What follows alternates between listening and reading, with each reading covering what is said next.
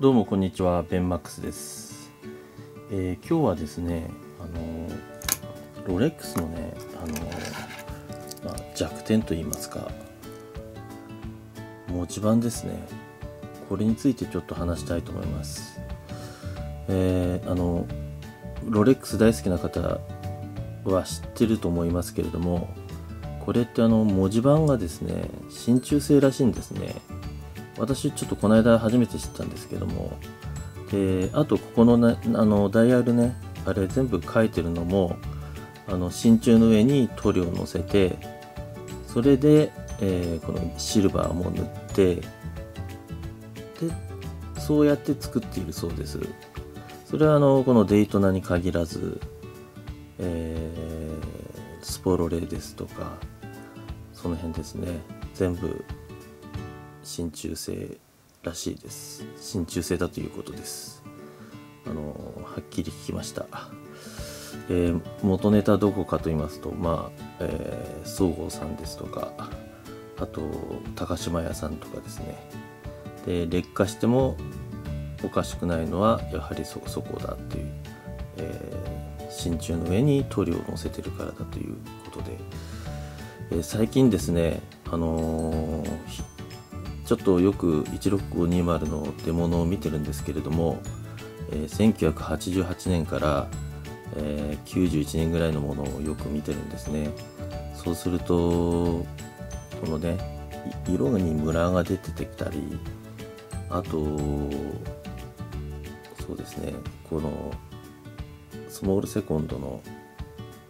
針のところになんかこうサビみたいのが出てたりですね。ただですね針はホワイトゴールドと言いますかゴールドだと聞きました。なんで、えーこのスモールセコンドにの付け根のところにうーんサビみたいのが出てるの答えも見たんですけれどもえっ、とですねうんそんなにあれかなあのゴールドなんでそんなにうん他の状態が悪かったんでしょうね。うん。それはもうしょしょうがないと思いますけれども。ちゃんとリューズをねあのねじ込んで気密性を高くしていれば劣化は防げるんですけれども。あのねあの今のいろいろ持ってる方あの大事にしてあげてください。あのとにかくリューズロックをねしっかりしないとパッキンがねあのパッキンもまめにまめにと言いますか5年に一遍ぐらいオーバーホール出して、えー変えてあげて気密性を上げてあげるとあの文字盤にも優しいですからあのこのモデルは、まあ、インデックスバーみたいな感じのところにトリあのトリチウムねこれはルミノバ仕様ですね。トリチウムはこちらに眠っているんですけれどもこれはあのえええーとインデックスバーは、えー綺麗な状態ですね。でその中に、えーこっちだとトリチウムが入ってます。でこっちだとルミノバなんですけれどもあのーそのあれですね。このインデックスバーにもね、あのー色が抜けたりしますから気泡が出たりねしますので皆さん、あの本当に気をつけてください。あのディープシーとかねあのシードウェラサブマリーナエクスプローラー1エクスプローラー2まその辺もねもうどのモデルもスポーツモデルは全部、え真鍮に書いてるそうなんでですから丸いドットの中に、え今だと何ですかねあの夜光ちょっと今忘れましたけれどもルミノ板が乗っかってるところの周りのね金色のところがそのある日突然腐食し長いことね使っててある日突然腐食したっていうことも今後出てくるかもしれませんのであのこれはメンテ一つでメンテナンスと自分の注意一つであの防げることだと思いますのであの大事にされてください。え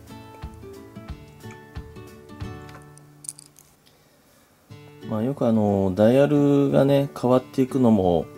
まあ味の一つとしてねあの今後使っていくっていうこともあると思うんですよ。あのアンティークになってってね。ですけれどもやっぱりあんまりあれですよね。ゴールドのあの銀色の部分がなんかこうねあの劣化しちゃうとうんそこは劣化しないでほしいなと思いますよね。えー、ですんであのそういうあのことですので大事にしてあげてください、えー、あのこっちのねまあずいぶん古い IWC なんですがこれはあのインターネットエク、えー、インターネットインターナショナルウォッチカンパニーなんですけれどもこれはですね全然至って健全ですね。1960これさ1960うん64年か65年ぐらいものものなんですけれどもこっちは至って元気な元気だと言いますか、えー、よくあの全然劣化せずに持っていますね。これベルトちょっと色が堅苦しいんで今度、えー、茶系のねあのちょっと茶系と赤の間のあのバンドにねちょっと変えたいなと思って。そうするとあのもっとカジュアルに使えるかなと思っているんですよね。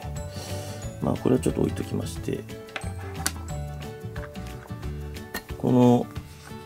取っといてある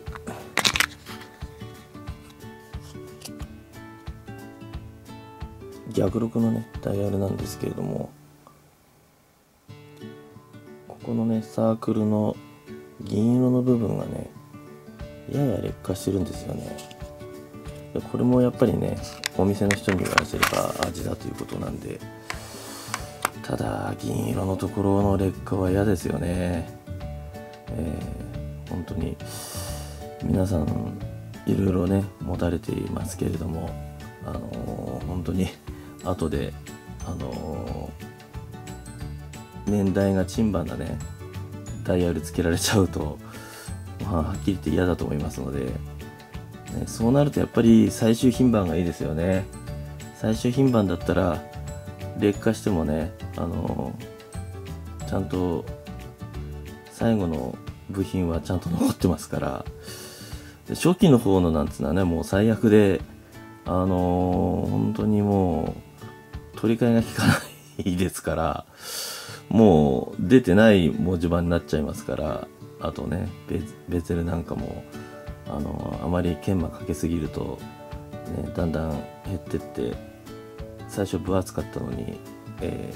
ー、どんどん減ってっちゃうと、なんかね、寂しくなっちゃいますね。なんですから、あの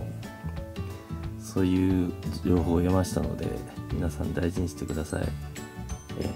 今日はすいません。これで終わります。失礼いたします。